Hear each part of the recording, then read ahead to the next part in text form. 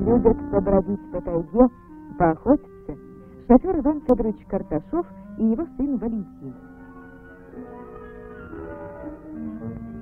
И вот однажды они возвратились домой с необычной добычей.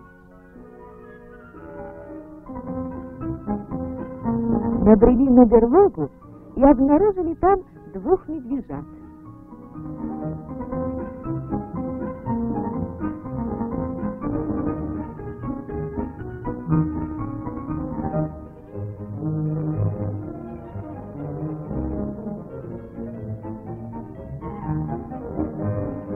У щенка Джека появились новые друзья – Мишка и Маша.